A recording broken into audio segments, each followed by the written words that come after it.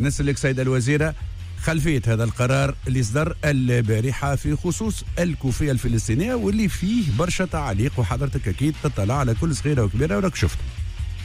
والله هو القرار لا يتقصد أو لا يستهدف الكوفية الفلسطينية في حد ذاتها كما يقال.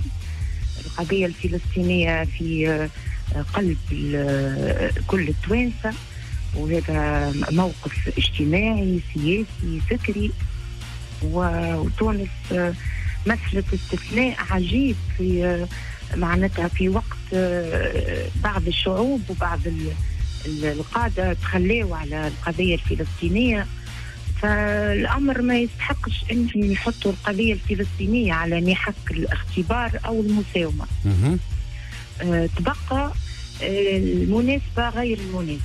يعني بالنسبة لتلامذتنا قاموا بتظاهرات قبل دعما للقضيه الفلسطينية ومازال أمامهم الفرصة. نعم.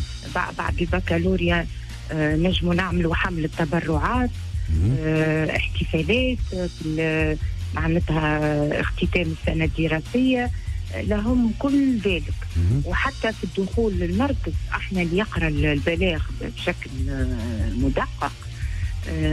إذا كان تلميذ أصر على إنه يلبس الشال الفلسطيني أو الكوفية الفلسطينية. يستطيع أن يرتديه لكن عندما يصل إلى قاعة الامتحانات ينزعه. حتى لو كان لباس تقليدي تونسي مثلا يصعب مهمة المراقبين نفس الشيء. يعني ليس المشكل في الكوفية وإنما المشكل في لباس يصعب ويعقد عملية المراقبة لأنه زاد كما عنا القضية الفلسطينية عنا البكالوريا. واللي يحطهم مزوز في موضع مزايدة ومساومة آه هو الحقيقة صح نصب أو أرادوا نصبه لوزارة التربية. وإحنا خذينا القرار الوطني الذي لا يمكن أن نتراجع عنه. نعم. بكالوريا تونسية فوق كل المزايدات. والمراقب الأستاذ المراقب هو معناتها في وضع مش سهل مع تطور أدوات الغش وتقنياته. فأنا ما نحبش نزيد نخرج الاساتذه يلقى روحه متردد قدام معناتها قبل كانوا فتيات ربما يرتدين لباس معين وإحنا خدينا قرارات منذ سنوات إنه كمن تضع الخمار كما نفسها مثل من لا تضع الخمار فماش حتى فرق.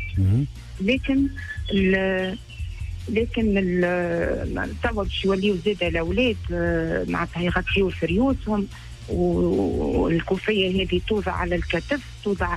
فأنا قلت تجنبا لأي معناتها أي مظهر من مظاهر المشادات في وسط قاعة الامتحان التشويش فالحقيقة امتحاناتنا مقدسة. نعم مقدسة. حتى مش بالمفهوم الديني وإنما العلمي والأكاديمي والوطني. معناه هذا اللي يتحدث على حضرتك نعم. تقدم على عليه حضرتك سيده الوزير.